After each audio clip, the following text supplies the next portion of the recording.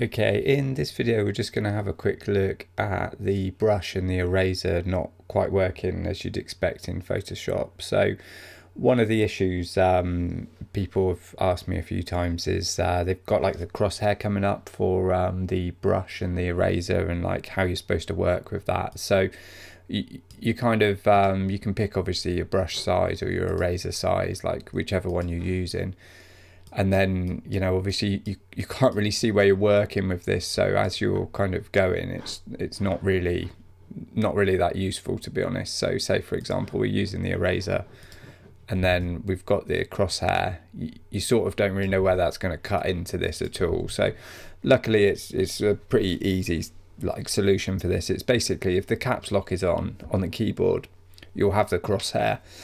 And if the caps lock's off you'll have the normal kind of edging that you'd expect for the eraser. So it just makes it a lot easier to kind of know where you're working. And the same with the brush you know if um, if you've got the circle then obviously it's a lot easier than working with the center point. It's like seeing the outline of it just makes it a lot easier to work especially in sort of fine detail. If you're just cutting bits off of edges or you're just trying to add very small brush strokes it just makes it a lot easier.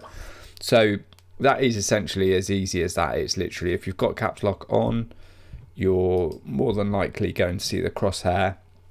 If you've got the caps lock off, you're going to see that sort of outer circle, or depending on different brush shapes and strokes, you might actually have a slightly different thing to that, but it'll give you the outer edge of it anyway.